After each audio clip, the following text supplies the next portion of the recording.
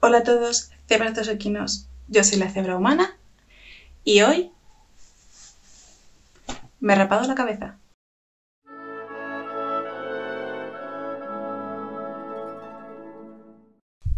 Sí, me he rapado la cabeza.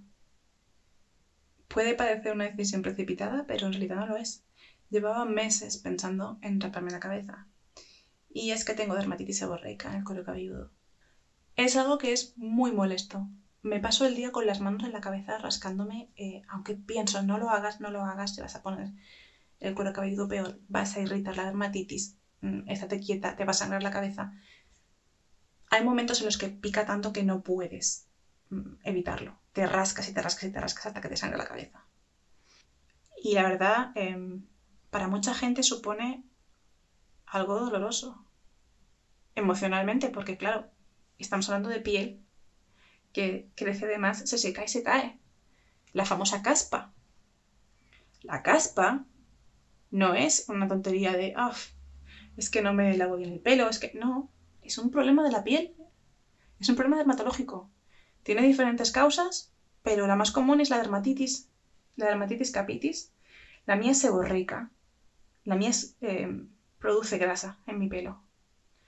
De hecho, cuando tenía pelo me lo tenía que lavar eh, día sí, día no, porque no es que estuviera sucio al poco de lavarlo, es que al día siguiente de lavarlo yo me lavaba el pelo por noche, a la mañana siguiente amanecía con las raíces de esto de grasa, pero de la propia dermatitis, o sea, las heridas, yo me toco por aquí y las heridas estas están grasientas. Todas las heridas que tengo, pues por el cogote, por las orejas, sobre todo donde más tengo, eh, las noto grasas. Supuran, sacan grasilla. Y de hecho a veces me, me he sacado, al peinarme, me he sacado cristales de pus, no sé si eran de pus o de grasa, pero eran de color ámbar, de lo que se llega a acumular en las heridas. Y también se acumula en parte por tener pelo. El pelo hace de barrera para que no caiga. Entonces, a veces la única solución es esta. ¿Es una solución temporal? Sí, porque la dermatitis va a estar siempre ahí. Pero por lo menos los próximos 4, 5, 6 años que esté sin esa dermatitis, buenos serán. Buenos serán, porque es que ahora mismo estaba con un estrés y, un, y una molestia y un... Y otra ventaja que tiene haberse apagado la cabeza es el fresquito. Porque parece que no, pero el pelo da mucho calor en la cabeza. Y ahora mismo noto un fresquito, una sensación agradable en la cabeza. Tengo la cabeza caliente, me noto caliente, pero supongo que es porque la tengo, la tengo irritada de haberla rapado. Hace rato que la he rapado, ¿eh? hará como hora y media y noto la inflamación como, como cuando te late una inflamación, cuando tienes un golpe o algo que te late, que notas como el, las pulsaciones lo noto. Lo noto especialmente en este lado, por aquí y por detrás. Es donde más lo noto. Y también me he dado cuenta de que por aquí me crece menos pelo. No sé si se ve que la línea, la línea del pelo hace así y se mete un poco para adentro. No es que no crezca nada, pero crece mucho menos.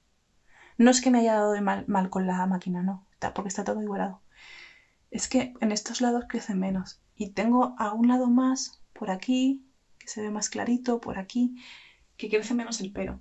He probado un montón de cremas, de champús y de cosas que simplemente no han funcionado. Y uno de los motivos por los que no ha funcionado es que tenía pelo en la cabeza. La primera vez que yo hice esto, porque no es la primera vez que lo hago, eh, yo iba a mi médico cada par de meses preguntando porque me daba un champú no funcionaba, me daba otro champú, no funcionaba, me daba una crema, no funcionaba. Y yo le pregunté, digo, ¿no está funcionando porque tengo una dermatitis muy fuerte o porque no está penetrando bien el producto en mi cuero cabelludo? Y me dijo, hombre, parte del producto se queda en el pelo. Y yo le pregunté si me rapo la cabeza, ¿penetrará mejor? Y me dijo, sí, pero eso es muy radical. Y le dije, solo pelo es solo pelo.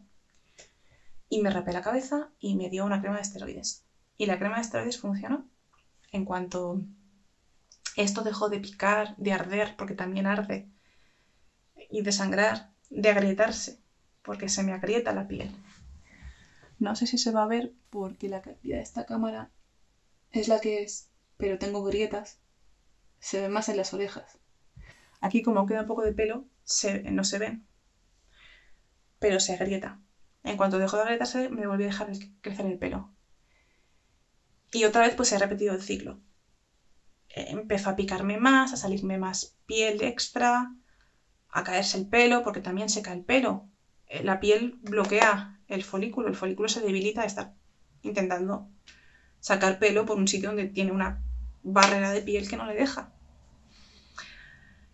Y decidí que lo volvería a hacer. Volví otra vez a la crema y me volví a, dejar crecer el pelo otra vez en cuanto se cure. Bueno, no se cura, porque la hematitis no se cura, pero los síntomas se aplacan.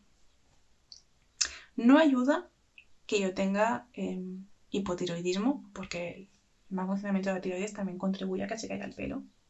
Luego también está lo típico, el estrés, la ansiedad, etcétera, etcétera. Pero es que el picor, el ardor, produce estrés, produce ansiedad, porque estás todo el rato pensando, me pica la cabeza, no, me voy a rascar, me pica la cabeza, no me voy a rascar, me pica la cabeza, no me voy a rascar. Y es un pensamiento que se va metiendo en tu cabeza y te crea estrés y te crea ansiedad. Sí. Te crea este estrés y el estrés hace que se te caiga el pelo. Y, se empeora la, dermatitis. También contribuye a que la inflamación empeore. Es un círculo vicioso. Para mí, pues eso, no hay más solución que raparme la cabeza. La peluca que habéis visto al principio es solo para salir a la calle. Porque la, última vez que me rapé la cabeza, em, digamos que no fui acogida muy favorablemente por la gente que no me conocía. Me harté un poco de em, miradas de desprecio.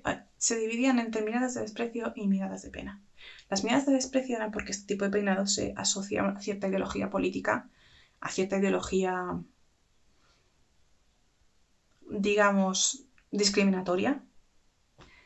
Y las miradas de pena porque se pensaban que tenía cáncer.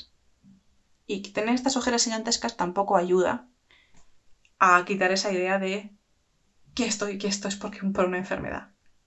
Bueno, es por una enfermedad, pero no se me ha caído el pelo, me lo he rapado yo. Entonces me empecé a comprar pelucas. Tengo pelucas muy antiguas de esa época porque fue como hace 6 o 7 años. Uy, la redecilla. Esta es una peluca larga con flequillo, creo que me costó 15 euros. Son de plástico, ¿eh? no es pelo, porque pelo natural carísimo. No me importaba que se supiera que eran pelucas. Lo que no quería era esa reacción intensa de, de gente mirándome, gente juzgándome sin conocerme, que eso lo hacemos mucho. Y esta fue una de las primeras que me compré. Es una larga, más o menos del largo que llevaba yo aquel entonces, con flequillo y de, de, un color parecido al que llevaba, que es este rojizo. Luego tengo otra más corta, de un color más oscuro. Tenía otra también larga, pero aquella ya está estropeadísima. Seis o siete años después, pues la peluca está hecha un asco. A ver, son pelucas que me costaron, esta 10 euros. Esta larga, unos 12, 12, 13 euros, y la otra me costó 15. O sea, no son pelucas hechas para durar y para llevarlas todos los días. Solo las llevaba para salir a la calle por ese motivo. Y esta es un poco más cara porque al no tener flequillo tienen que crear una línea de pelo natural que es un poquito más cara de hacer. Pero creo que no llega a los 30 euros tampoco. Y me apetecía un cambio, me apetecía no llevar flequillo. Me apetecía que mis gafas estuvieran limpias, que el pelo no tocase las gafas, porque normalmente llevo gafas. Pero me las he dejado un rato fuera porque es que tengo muy irritado la oreja. Entre haber rapado la cabeza y llevar las gafas están hechas un asco. Entonces he decidido no llevarlas durante un rato. Y esta, pues eso, esta eran unos 30 euros. Por eso, por la línea y por además tiene muchísimo pelo. O sea, la densidad de pelo de esta peluca en comparación con esta. O sea, esta es una mopa. Esta es un perro pomeranian. Y esta es bastante más escasa de pelo. Las dos son de plástico la verdad. Y se nota que son de plástico, pero no, no me importa.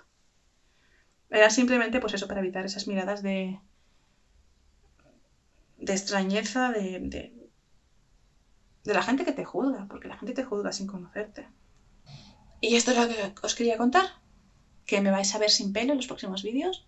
Eh, o no, a lo mejor me pongo alguna de las pelucas para los vídeos, voy, voy cambiando de una a otra. ¿Quién sabe? Y que es por este tema, que es por, por la dermatitis. Por mi parte nada más. Nos vemos en el próximo vídeo y ya sabes. Ayúdame a que las no se pierdan entre los caballos. Un millón de gracias.